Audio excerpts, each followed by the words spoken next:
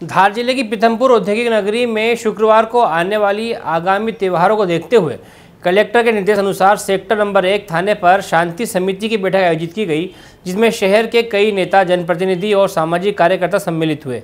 बैठक के दौरान थाना प्रभारी चंद्रभान सिंह चडार ने इस कोरोना काल को देखते हुए शहर में होने वाले आगामी त्यौहार, जैसे होली, शब बारात, होलिका दहन के दौरान शांतिपूर्वक लोगों को सामाजिक दूरी का ध्यान रखते हुए त्योहारों को मनाने की समझाइश दी गई।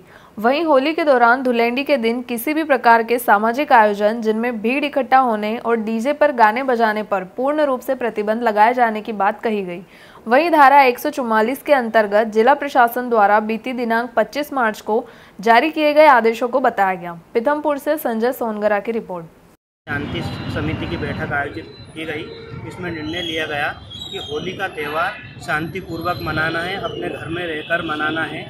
कहीं भी ग्रुप के रूप में या गैर के रूप में त्यौहार को नहीं मनाया जाए। कम से कम लोग घर से निकले और शांतिपूर्वक होली का त्यौहार मनाएँ। रंग गुलाल का कम से कम उपयोग करें।